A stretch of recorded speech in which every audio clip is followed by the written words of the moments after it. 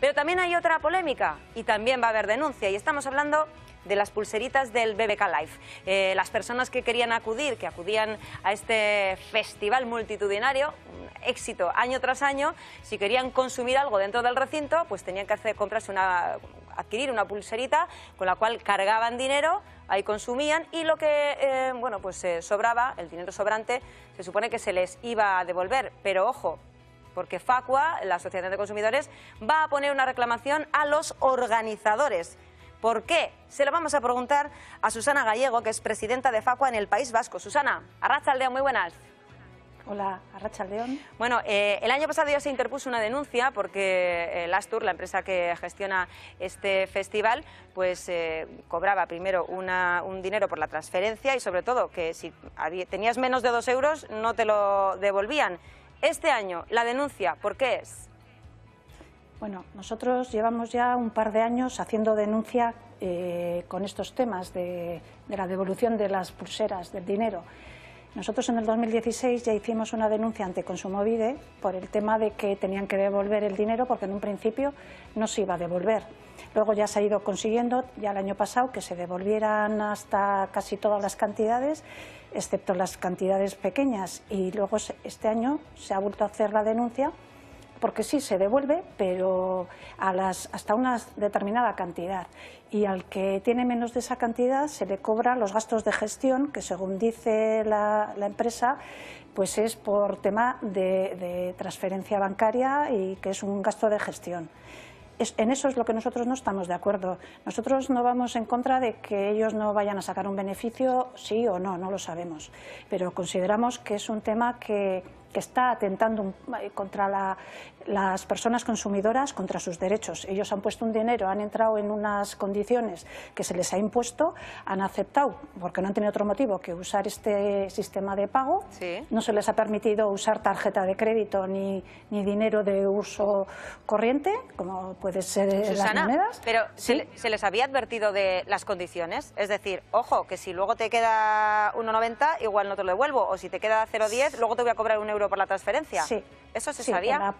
En la, página web este año sí, sí se ha puesto que estas condiciones de devolución, pero una cosa no quita la otra. O sea, si es una, una una forma abusiva porque es una fórmula que a ellos les conviene hacerlo de esta fórmula y a la persona que va allí a atender al, concierto se les obliga a hacerlo de, esa forma, yo, nosotros consideramos desde Facua que también tienen derecho a que se les devuelva toda la cantidad del dinero. Si la persona lo solicita em, em, y, sin solicitar, se les debería devolver todo, hasta el último céntimo, y sin cobrar ningún gasto de gestión, que eso va implícito en el precio que ya pagas y en todos los consumos que haces dentro del festival. Que el argumento, Susana, el argumento que utilizan desde las Tour dicen, oiga, es que mm, tengo un gasto de una transferencia entonces, eh, si no, me permite la expresión, igual me lo tengo que comer yo. Eh, ¿Ese argumento no vale según vosotros? Para nosotros no. Nosotros creemos que, el gasto ya tiene que estar asumido en todo el, plan de, eh, del trabajo de ellos y que no lo tiene que asumir el consumidor como persona participante en el evento. Es un tema que ellos aceptan, las personas consumidoras aceptan usar ese medio de pago pero por supuesto su dinero y tienen derecho a que se les devuelva. Y nosotros desde nuestra asociación, desde Facua, consideramos que las personas deben, si, si la cosa no se les devuelve, si el dinero no se les devuelve o se les quiere cobrar, pongan denuncia ante la empresa y también pongan denuncia ante Consumobile. Claro. Ya tenemos, tenemos varias denuncias ante Consumobile. Eso, eso te quería preguntar, Susana, porque claro, eh, se habla de cifras récord de participación, hasta 120.000 personas. Eh, claro, como decía aquella, tacita, tacita, centimito, centimito, hacemos un montón, ¿no? Eh, y luego, por un céntimo, por unos céntimos, ¿te vas a meter en una denuncia? Vosotros decís que sí.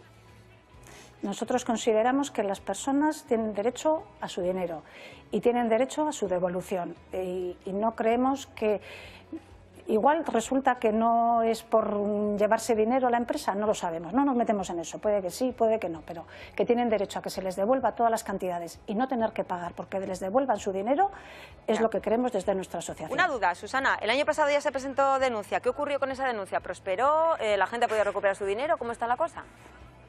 Pues hasta donde nosotros sabemos, hasta el día de hoy, el expediente está abierto en Consumovide que están, nos han comentado que están estudiándolo, que, que, se está llevando a cabo las investigaciones, este año también, las pasadas también, pero por ahora, hasta donde nosotros sabemos, no se ha abierto todavía un expediente sancionador, pero sí sabemos que están estudiándolo y que están en ello.